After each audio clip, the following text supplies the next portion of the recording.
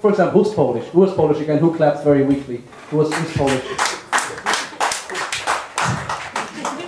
You're not, you're not even happy yourself, are you? Uh, but imagine you're Polish and you see someone on the streets who's Polish. They look Polish, they speak Polish, but they're a bit different.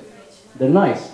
And that's, that's attractive. That's, I get it. They're the same, but a little bit different. Are there any Turks in the house today? Turkish people?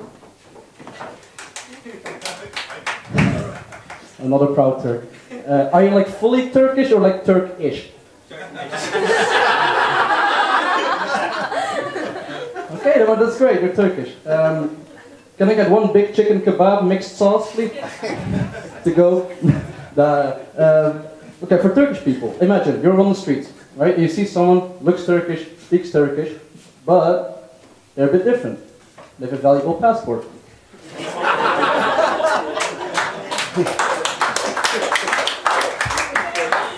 I mean, actually, a Turk with a valuable passport, that's a Greek person, to be honest. oh, I'd love to be back, guys.